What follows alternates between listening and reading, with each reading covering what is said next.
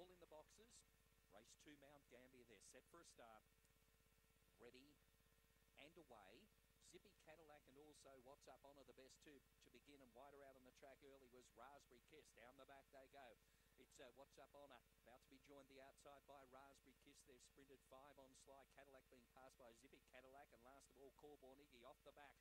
Raspberry Kiss races to the lead and races away from What's Up Honor and up the straight. It's all the favourite Raspberry Kiss. Scores by five.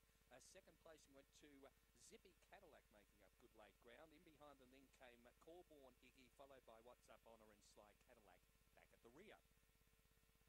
Round 23 and 70 the time with the first split of 11.18. And the winner here will be number eight, Raspberry Kiss. Began with them. Uh, there was some pace from uh, inside it with uh, Zippy Cadillac and What's Up Honor, but Raspberry Kiss kept wide on the track, whipped around them, then took the lead coming off the back and was raced away to score nicely from number one, Zippy Cadillac, and third to number seven, Corborn Iggy. 817, officially fourth, number four, What's Up Honor. 2371, the overall time recorded there. First split of 1118, recorded by number eight, Raspberry Kiss. This uh, greyhound, only fourth start today, so makes it a win from four starts. And uh, Red Fawn Bitch, September 19 by It's My Time from Roma Girl. And scores nicely